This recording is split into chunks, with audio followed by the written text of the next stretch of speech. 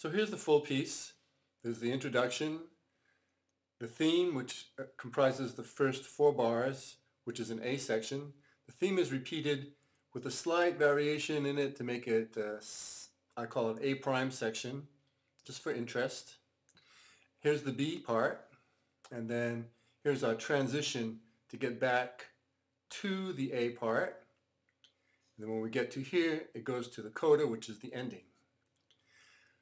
Another little detail in here is that to really accentuate the end of a phrase, rather than continuing this drone-like monotonous arpeggiated left hand, I end it with a quarter note, as you see in various places here. This provides a little bit of a space for breathing and clearly shows, or subtly shows, I should say, something which is important, that is the, the separation of the notes into phrases. So here's what the whole piece sounds like.